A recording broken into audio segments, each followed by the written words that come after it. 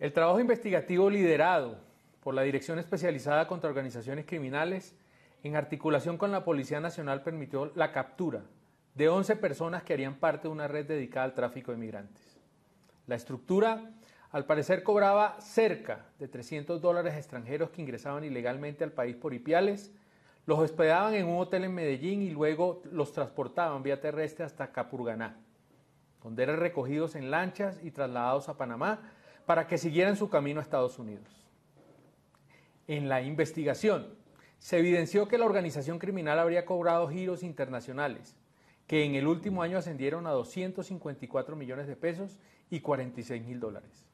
Dos de los detenidos serían los articuladores principales.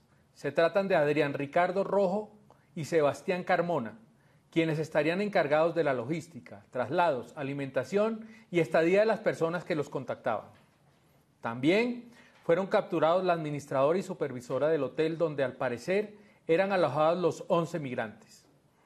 Los capturados fueron imputados por los delitos de concierto para delinquir y tráfico de migrantes. De manera paralela al proceso penal, la Fiscalía impuso medidas cautelares de suspensión del poder dispositivo, embargo, secuestro y toma de posesión sobre un hotel y tres vehículos avaluados en 2.500 millones de pesos los cuales estarían al servicio de la red ilegal. La Fiscalía habla con resultados.